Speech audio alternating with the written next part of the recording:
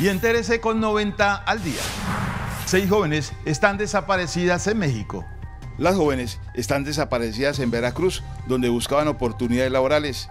Desde hace cinco días, sus familias no tienen noticias de ellas. Las mujeres viajaron para prestar servicios en eventos, pero ahora se teme que hayan sido secuestradas.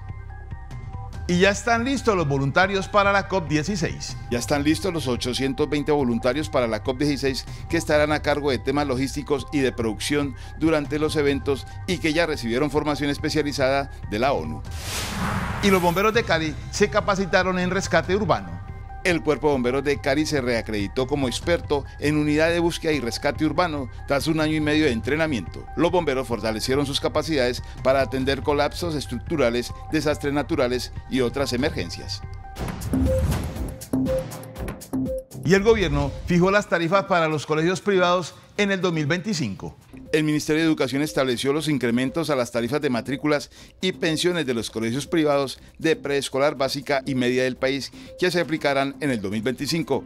La base del incremento se fijará de acuerdo con los índices de precio al consumidor, es decir, en un 6.12%. Espere la ampliación de estas noticias a través de nuestras plataformas digitales.